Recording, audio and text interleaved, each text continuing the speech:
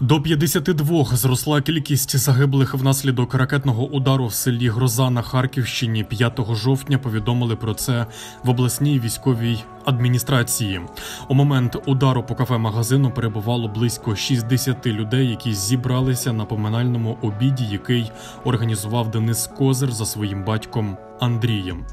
Чоловіки пішли на фронт у перші дні Великої війни. За інформацією змі, після трьох днів бойових дій батько Дениса отримав смертельне поранення у шию.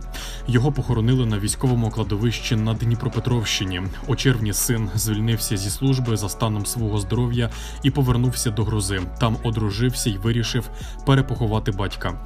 Однак на поминках від ракети росіян Денис загинув. Загинула його дружина, мати дружини, бабуся і дідусь Дениса.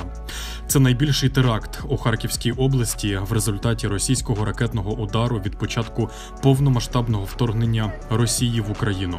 Такими є дані команди проекту UA War Infographics.